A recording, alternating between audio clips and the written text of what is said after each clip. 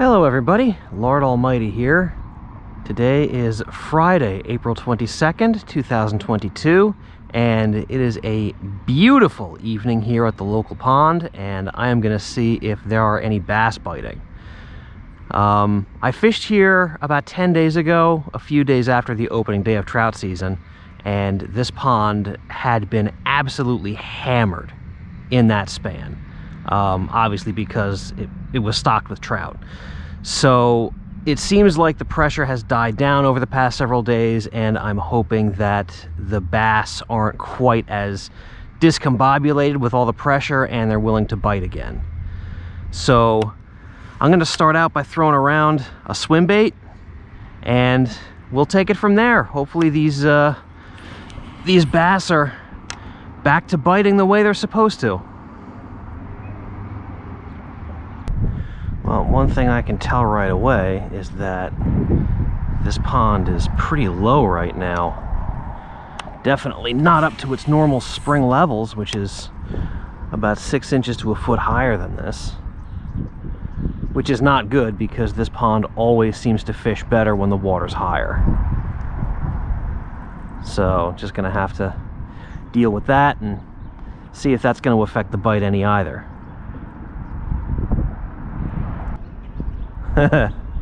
you know, I just noticed looking around the trees and the bright sun, you can see the sun glinting off of the uh, spinners that people have lost in the trees. There's one right there. There's one all the way down there. There's one across the way right there.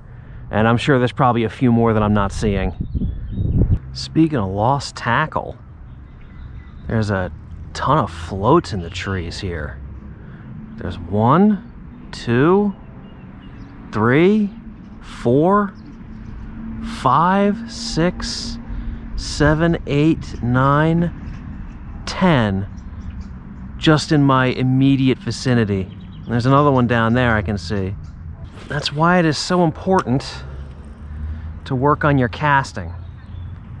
Because sometimes you're going to have to dodge tree limbs and you're not going to catch any fish if your lure or your float is dangling from a tree. So, lesson number one, work on your casting. I mean, I'm not above hanging up my lure in a tree from time to time either, but I'll bet you I'm not as prolific as most.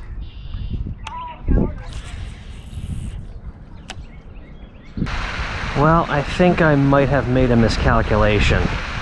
You remember when I said before that the pressure in this pond was lightening up? Well, looks like someone flipped the switch again, and it's because I forgot that this pond is stocked during the season as well as before the season. And judging by the dozen plus anglers that I see around me right now, they probably threw some fish in recently. So gonna have to contend with additional fishermen putting pressure on the fish. But if there's one silver lining, it looks like they're all going for trout and they're pretty much ignoring the bass. So if I fish differently than everybody else is, then I might be able to get on a bass bite. So I switched away from the swim bait and I'm gonna be dragging this jig along the bottom. I doubt anybody is using a jig to try to catch trout right now.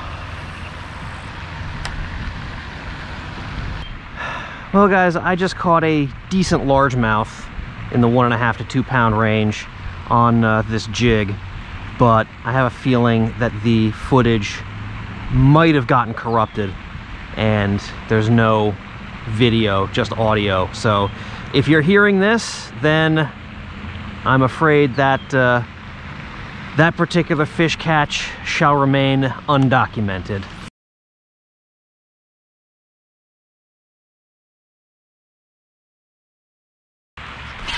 There we go, fish on.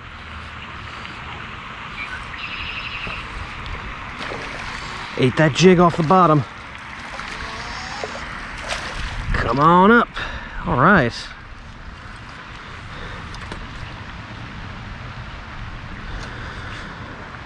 Not too bad. Maybe a pound and a half, pushing two. Alrighty. Ice is broken.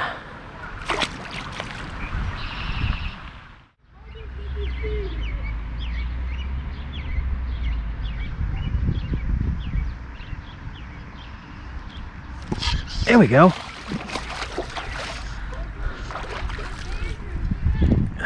Caught him right off of his pipe here. Had it in his mouth for a while. Didn't know it was a fish. Thought I might have been dragging it over some sticks or something. Super light hit, but he held onto it long enough for me to get him.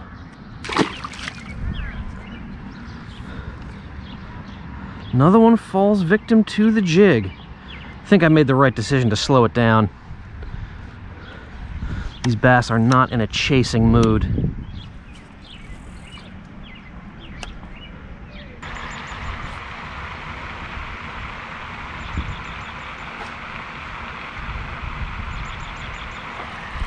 There we go. Wow, he just started racing off with it. Did you just see my line going sideways?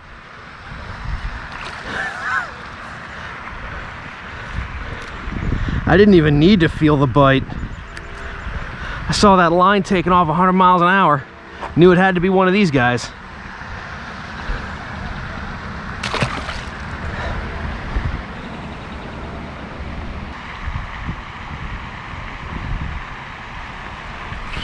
There we go.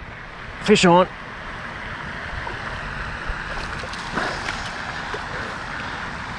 Another one that's kind of picked it up and started swimming with it.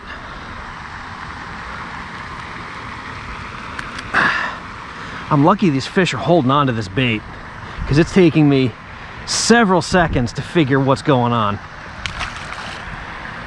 It's one thing I don't like about jigs. So many times you don't feel the bite. And if they're in a pick it up and drop it kind of mood, you're in for a frustrating day. Fortunately, it seems like once these fish get it in their mouths, they just want to suck on it.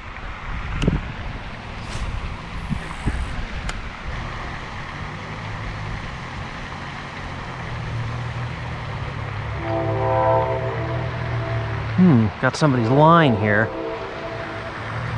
Wonder if there's any goodies on it.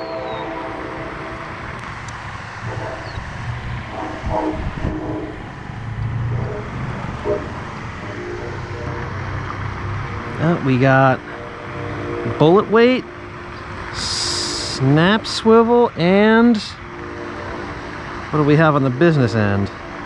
A treble hook. Huh. Somebody was probably fishing with power bait using a Carolina rig. And they lost it. So in the garbage it goes. Well, that is going to do it for this evening. Wasn't a fantastic evening of fishing. I was out for about two and a half hours, managed to land four fish, which that's not great, but you know, given that uh, this pond was getting buffeted by other anglers and these fish have probably seen numerous lures go past their nose today, I can definitely handle four bites. I think that's a success given, uh, you know, given all the competition that I had today. So, uh, yeah, I mean, in a situation like that, you got to go in with altered expectations and really just kind of take what you can get because, uh, you know, when you got that many people on the water, there's only so many fish to go around, and I'm just happy that I was able to catch my share. Thank you all so much for joining me, and I will see you on the next adventure.